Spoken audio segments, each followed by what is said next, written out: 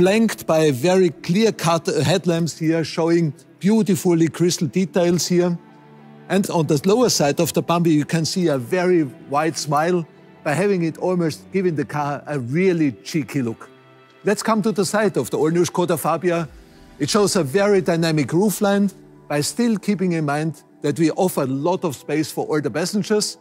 And the side you can see as well shows a lot of sculpture, starting here with the fine tornado line and by pronouncing the V-large elements here, giving the car, I think, a very expressive shape. Additionally to this, we gave also the wheels here with the aero caps as well, because this car achieves a drag coefficient of 0.28. Let's come to the side, where we have here on the side sill here a crystal cut elements, which represents even the Czech flag. Now to the back of the all-new Skoda Fabia, very sculptured, giving the car a nice stance also a very long, nice rear spoiler, and of course, a very sculptured bumper area. That's the exterior of the all-new Skoda Fabia, and I hand over to my colleagues Peter Euler and Kata Vranova. Thank you, Karl.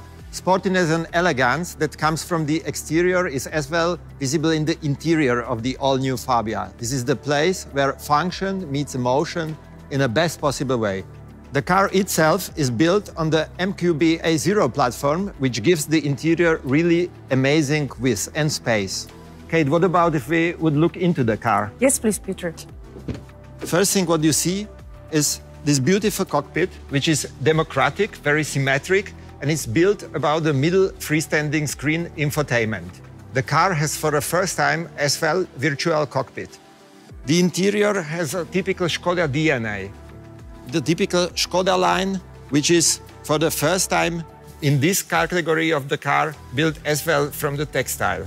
Yes, exactly. Same as we presented in Octavia and also in Enyaq, we are bringing into the Fabia soft materials on the dashboard, such as textile, microfiber material, or artificial leather. And for some of the lines, we are even highlighted with the nice decorative stitching.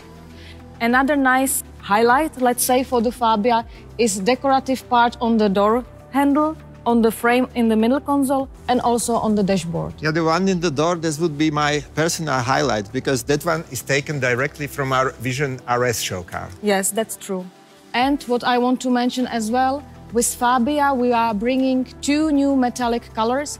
As you see here on this car, graphite metallic, and as a communication color for Fabia, it's Phoenix Orange.